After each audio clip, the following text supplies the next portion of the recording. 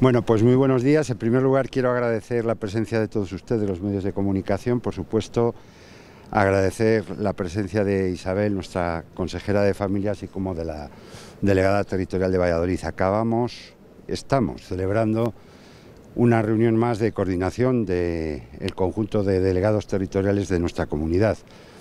Algo que venimos haciendo desde el inicio de la legislatura, entre otras cosas para ver las cuestiones que son de actualidad o aquellas otras cuestiones bueno, que puedan surgir dificultades o diferencias y en torno a esa mesa y de manera colaborativa irlas coordinando.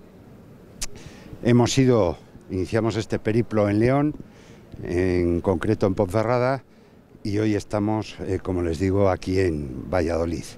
Y hemos estado hablando de un ámbito que puso de manifiesto el presidente la semana pasada y que es eh, fundamental, como es el establecimiento del bono nacimiento. Les hemos estado explicando los delegados territoriales lo que supone este bono nacimiento, que supone desde el punto de vista presupuestario una inversión en torno a 20 millones de euros y que tiene un doble objetivo.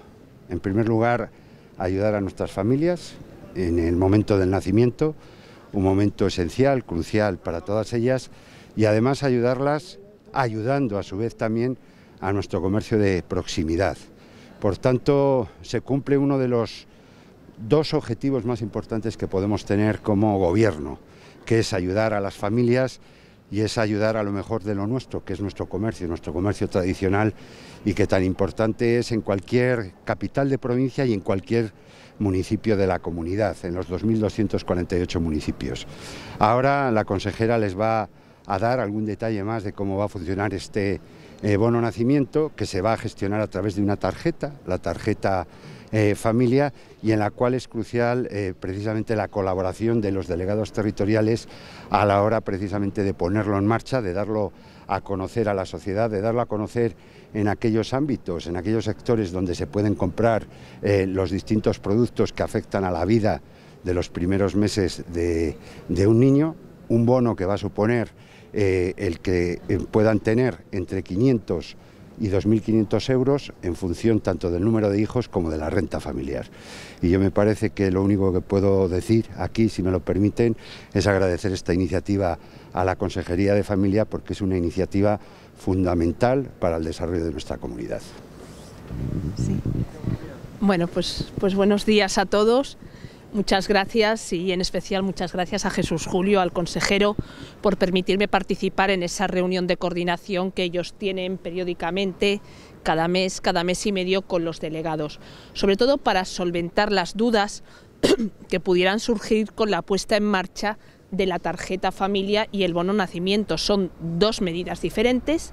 El bono nacimiento es la ayuda que se les va a dar a las familias, como decía el consejero, entre 500 y 2.500 euros en función del número de renta y del número de hijos. Hoy sale la convocatoria de, esas ayudas, en la convocatoria pone dónde se puede utilizar, dónde se puede solicitar y las características específicas se podrá solicitar a partir de mañana y la segunda herramienta es la tarjeta familia. La tarjeta familia es ese instrumento para invertir en los comercios de Castilla y León.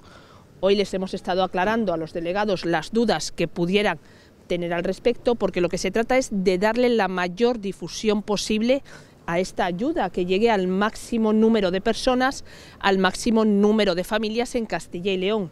Eh, con este objeto se va a instalar cartelería en todos los centros públicos de, la, perdón, de la Junta de Castilla y León, centros de salud, centros médicos, las oficinas de la delegación, etcétera, de manera que las personas que vayan por allí puedan escanear el código QR o ver la dirección web donde la pueden solicitar.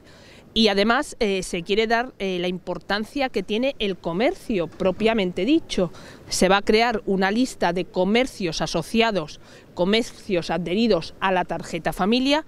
Eh, la tarjeta se puede utilizar en cualquier establecimiento, para adquirir los productos que vienen especificados en la convocatoria. Son en el fondo son productos eh, para el bebé, desde pañales, potitos, productos de farmacia, hasta cochecitos, por ejemplo, o ropa, cualquier producto que puedan necesitar los bebés. Y lo que queremos es que el comercio se implique.